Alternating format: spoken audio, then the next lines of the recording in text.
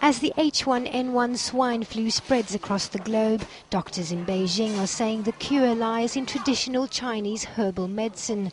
Health officials at Ditan Hospital have treated nearly 300 patients over the past 12 weeks since the flu first hit the country. 48% were given the drug Tamiflu, but the rest received either herbal medicine or a combination of the two. Doctors claim that of the 117 who were only given herbs, 88 have already been cured and discharged. Though they don't dispute that Tamiflu is effective, doctors here are arguing that herbal remedies are more potent and cost less. We have a wide variety of Chinese herbs for the H1N1 flu treatment. Doctors can choose and mix different kinds of herbs based on the conditions of each patient.